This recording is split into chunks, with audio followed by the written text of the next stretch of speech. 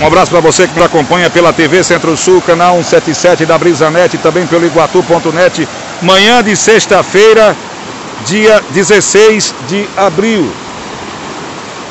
O nível do Rio Trussul aumentou aqui na passagem molhada entre a, entre a ponte da Barra e Gamileira.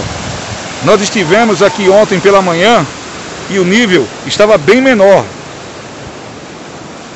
E agora a gente percebe que está aumentando. Os moradores afirmaram que nessa região aqui deu uma chuva ontem à noite de 60 milímetros.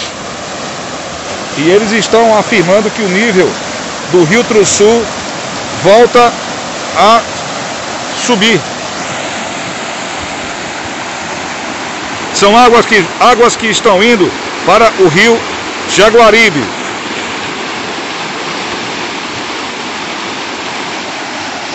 Pega esse vídeo, compartilha, bota pra frente e avisa a todos. Rio Trussul volta a aumentar o seu nível aqui na cidade de Iguatu, na região da Barra, entre a Barra e a Gamileira. Aqui é o Iguatu.net, aqui é a TV Centro-Sul, canal 177 da BrisaNet. Aqui a gente não para, para que você sempre tenha informação para ajudar a formar a sua opinião. Forte abraço!